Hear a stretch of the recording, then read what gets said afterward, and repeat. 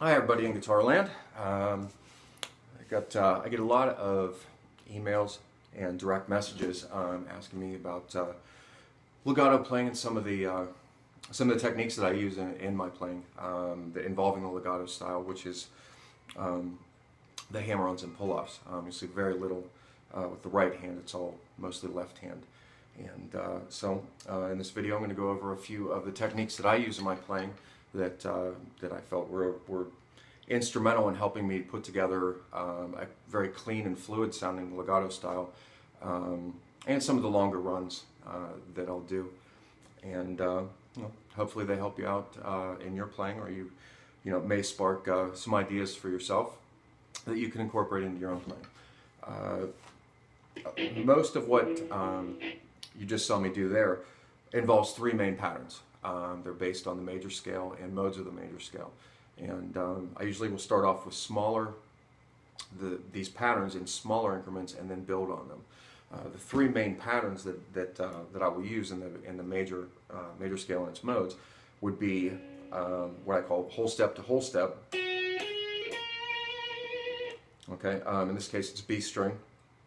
It's going to be the 10th fret, 12th, and 14 which are going to be the A, B, and C sharp. And then repeat that same whole step to whole step pattern on the E string, D, E, and F sharp. So by mm-hmm. picking one note on each of the strings and then hammering on to the other two,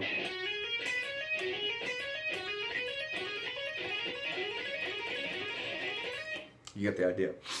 And then to make it a little bit more interesting, I will descend the same run using pull-offs, or the same pattern, I should say.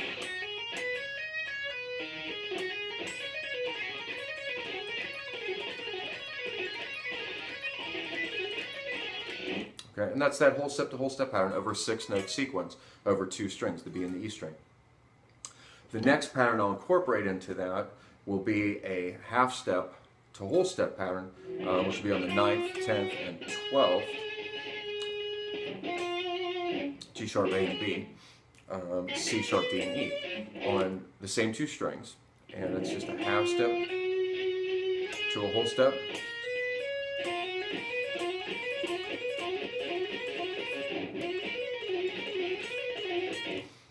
Where it starts to kind of take shape and become more fluid is linking those two together.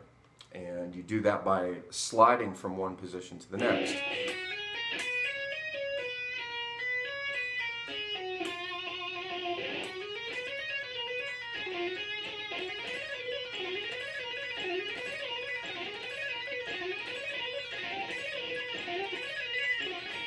See there's very little right hand at all. I'm actually only picking one, maybe two notes of that. The rest of it is all the hammer-ons and pull-offs.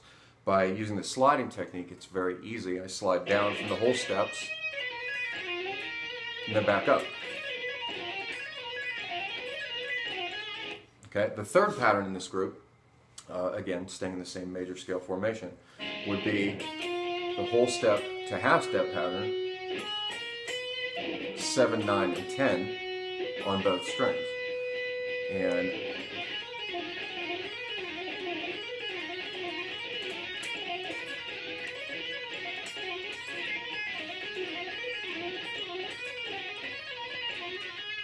So you can see how by using that the combinations of those groupings, the whole step to whole step, half step to whole step, and whole step whole step to half step, um, using the sliding between them, you can put together some kind of you know, some interesting runs. Um, another thing that I'll incorporate into that is breaking it down into an octave idea, where I'll take uh, like a six note sequence, slide it into the next six note sequence, and then I'll drop down to the next octave, repeating the same pattern of the whole step to whole step, half step to whole step, but on the next two lower strings. So now instead of a, a two string, maybe 12 note pattern, and get a four string 24 note pattern. Um, and if you incorporate that down, move it down one further octave, you can go down to the fifth and sixth string using the exact same patterns and uh, the same technique.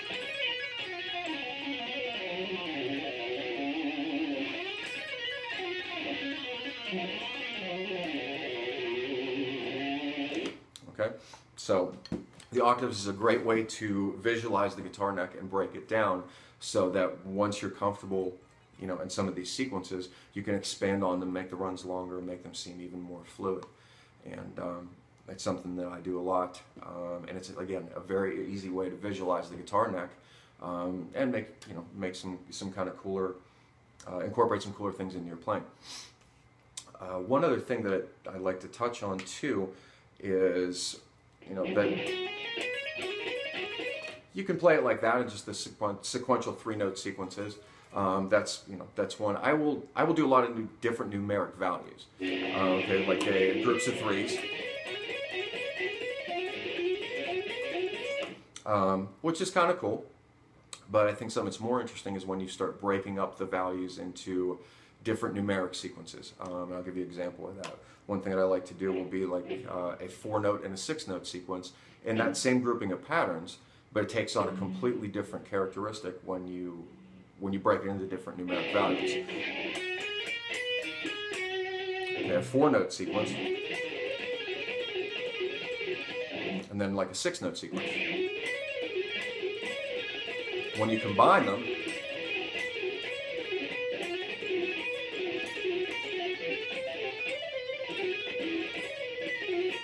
just becomes a lot more interesting.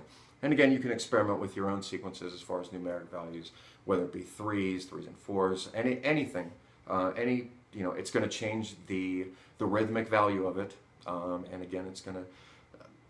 I think the main thing is to just once you understand the techniques, to incorporate them into you know and find your own voice. Um, create your own style of playing and something that you're comfortable with. And that's the stuff that's going to set you apart from every other guitar player out there. Because um, there's we're all saying, playing the same 12 notes. So uh, one other thing I'd like to touch on here, and it's I don't think a lot of people do address it um, in instructional videos or um, things like that, is the muting aspect of it, which I think tends to be undervalued. Uh, doing all these hammer-ons and pull-offs, um, they sound really cool, uh, but you can tend to get a lot of open string noise and a lot of kind of semi-muted or, or dead notes in there. And the muting technique that I use involves um, both hands. I'll use the like the flesh on the back of my index finger to mute behind um, the notes in front of it to help deaden the, you know, so you don't get a lot of open string noise.